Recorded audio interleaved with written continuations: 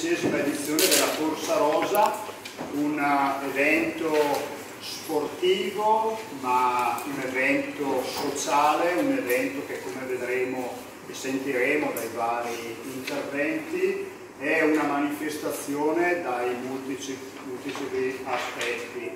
Io darei subito la parola al Presidente del Comitato UISP di Brescia, Ivano Baldi. Grazie Emanuele, grazie a tutti voi per essere qui oggi. Il prossimo primo marzo si svolgerà la dodicesima edizione della Corsa Rosa. Anche quest'anno ci sono aggiunte alcune associazioni al lungo elenco di coloro che con noi preparano e organizzano questo appuntamento atteso da migliaia di donne della nostra città e dalla nostra provincia. E sono le due nuove associazioni, Paola Camminatori e il Cerchio degli Uomini, qualcuno si chiederà come mai Corsa Rosa ci sia il nome degli, degli uomini, ma il Circo degli Uomini è un'associazione nata a Brescia da alcuni anni che si preoccupa dei maschi maltrattanti e quindi sta dentro, credo, in maniera molto precisa dei significati che noi diamo alla Corsa Rosa.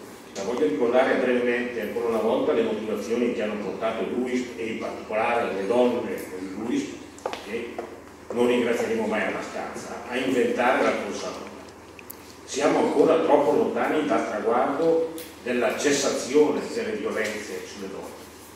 Gli avvenimenti delle ultime settimane sono lo specchio di una mentalità ancora troppo diffusa e tollerata, che vede le donne come proprietà degli uomini e spesso gli uomini di famiglia.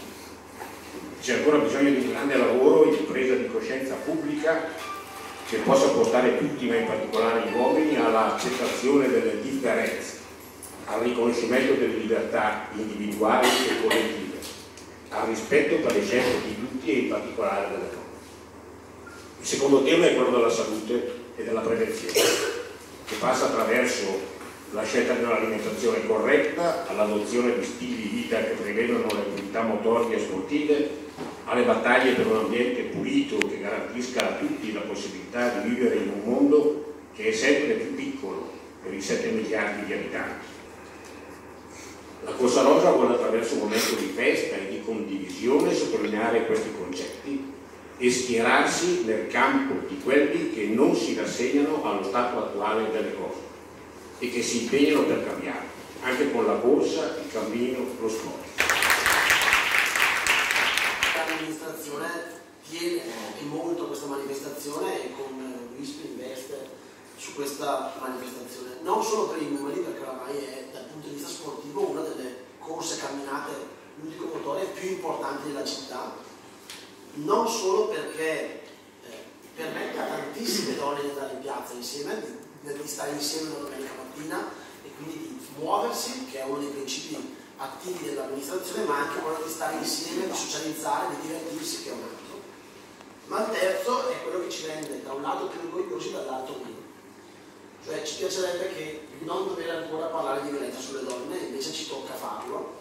Eh, Quest'anno sono sei le donne, dicevamo prima, fino ad oggi che in provincia di Brescia sono già state uccise, l'ultima Francesca Berizzole, e questo ci dà il segno di quanto è importante ancora continuare a parlarne purtroppo nel 2020 di questo tema.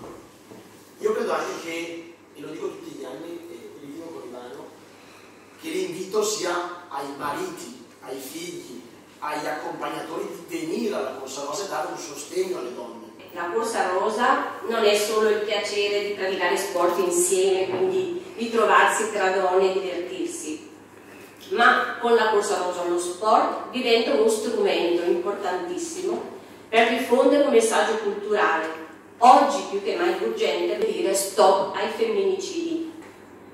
Per WISP organizzare questo evento, ma con tutte le associazioni aderenti, che sono 17, è davvero un motivo di orgoglio e soddisfazione, perché la grande presenza delle donne premia l'impegno costante di WISP di agire nel rispetto delle finalità istituzionali, di promozione sociale, di praticare sport per la salute e per il benessere.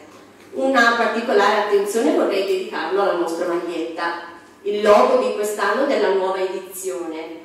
Anche quest'anno il logo è stato idealizzato dal fumettista Giuseppe Baiguera che vuole rappresentare un valore di partecipazione appunto, di condivisione, di consapevolezza e di responsabilità che con la Corsa Rosa ogni donna che partecipa, anche gli uomini, vogliono sottolineare insieme alla socialità dell'evento. Eh, numeri molto importanti che necessitano un grandissimo lavoro e per questo un ringraziamento va fatto a, a, tutto il comitato organizzatore che in questi mesi si sta impegnando al massimo per far sì che la Corsa Rosa 2020 sia un ulteriore grandissimo su successo. Ma eh, un ringraziamento eh, doveroso soprattutto all'amministrazione comunale che collabora con il comitato organizzatore nella miglior riuscita dell'evento ma eh, grazie, eh, un, gran, un, grandissimo grazie va a tutte le aziende che con noi hanno condiviso questo percorso. Il cuore del successo della Corsa Rosa è sicuramente il lavoro di collaborazione, di partnership con tutte le associazioni, ce ne sono quattro che quest'anno eh, riceveranno un, un, aiuto da parte della Corsa Rosa e la prima eh, associazione che vorrei chiamare è Ados Italia e abbiamo qui Gabriella Jacopo. La nostra è un'associazione che con la nuova riforma degli enti del terzo settore è diventata associazione di promozione sociale. Noi promuoviamo benessere per le donne operate. Cuore di donna, Angela Zoccarato.